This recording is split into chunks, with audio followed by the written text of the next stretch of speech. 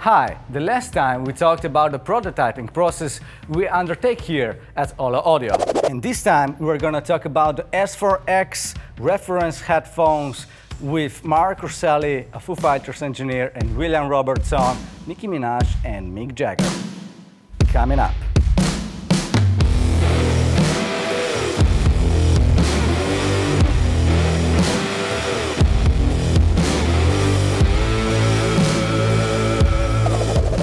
Right, William, hello, how are you doing? Good, and you? How are you today? I'm very excited about the S4X model and what you have to say about them. I'm wondering if you can share with all the community what are your first impressions uh, of the new model?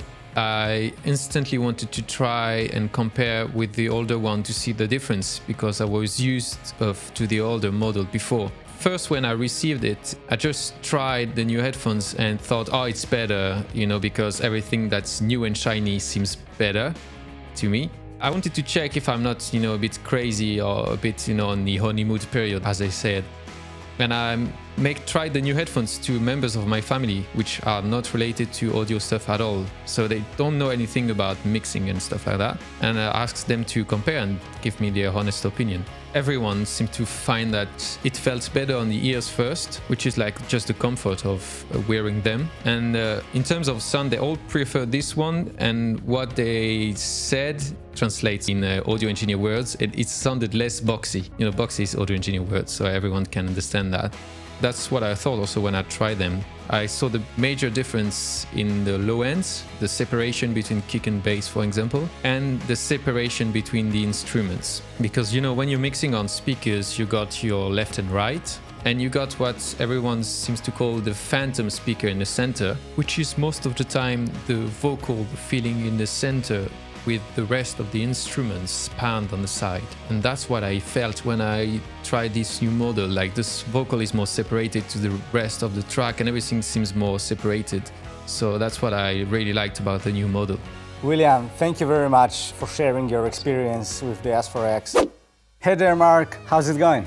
Good. How are you, Rok? I'm very excited. Uh, earlier we talked with William Robertson about the headphones and, and his experience with them. So I'm wondering what are your first impression of the S4X model? I've loved them so far. You know, I've always mixed primarily on speakers, so the quarantine um, situation has prompted me to want to find headphones that work well, that are well balanced and that I can trust so I can work at night when I have to, etc., etc. And um, I found out about you guys and and reached out, and I've been very impressed so far. I feel very comfortable with the OLLOs. There's very small areas uh, that can use improvement, but again, that's just taste. One thing that I that I really liked about these, aside from the sound, which I do like, uh, and I mentioned this for those people like, who like me wear glasses, is that they don't hurt my ears in a way that a lot of other headphones do. And they don't do it because the pads are so big that they sit around the ear and, and therefore the pressure is never applied on this part of the ear that sits on top of the glasses. That to me was a key element. Otherwise they're, you know, they're super well built and I, I love the uh, how solid and how heavy they feel. I mean, they feel heavy in a way as in proper build, but not heavy in a way that your head gets gets tired. And I love the fact that there's the um, this beautiful material that's so pleasant and it's not leather. That's another thing.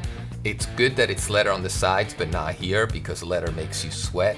And as we go into the summer, I think this will be a life-changing thing because with headphones that have leather, after a while you take them off and you just have this ring of sweat around your ears, you know.